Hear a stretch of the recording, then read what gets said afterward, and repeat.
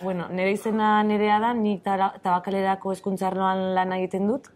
Eta, e, bueno, ba, gaur hemen gaude iria jakeatu tailerra egiten egon garelako hiru egun hauetan. Eta iria jakeatu da gaztei, nerabei, e, ba, maika eta mazazpi urte bitarteko e, nerabei zuzendutako programa bat. Eta hontan egiten duguna da pixka bat iriari begirada kritiko bat bota, gazteon e, ikuspuntutik, eta pixka bat e, irikilapseko teknologiak e, erabiliz, hau kontutan edukita, e, guk e, bueltatu edo gure begidara horren erantzuna eman e, iriari. Orduan, kasu hontan, udako kasu hontan, e, eskeitaren gaia aukeratu dugu, eta horregaitik irutu zitzaigun, ba, Mikel Larbiza, e, gonbidatzea e, ideia ona izango zela, eta Eskerrik asko. bueno, ni Mikel naiz, nereak esan duen bezala, eta, bueno, irakasle bezala egiten dut lan, arte errak ikasi ditu, baina meta diseinatzaile bezala orkesten naiz.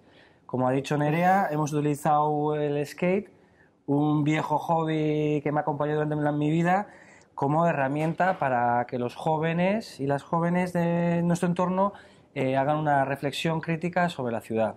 Hemos comprado en una fábrica internacional que tenemos en Irún, ciudad fronteriza, unas tablas, made in Euskadi, ejes, ruedas, han pintado las, las tablas con plantillas, han hecho plantillas en la lija, han reciclado algunos patines viejos y después también hemos hecho una rampa.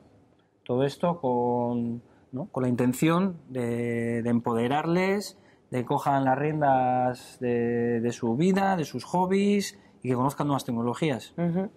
Bueno, orduan, e, prozesu honetan e, lortu dugu eraikitzea bat, bi, irulau, bost e, skate, eta, bueno, denon artean, e, parte hartzaile guztien artean erabaki da, hauen erabi, erabilera edo zen izango dan, eta pentsatu dugu gustatuko litzaigukela hauek egotea ubiken edo irekilapsen, tabakaleran, eta maileguan eraman ahal izatea eskatzen e, dutenek. Orduan, bueno, urrengo pausa izango da hori kudeatzea.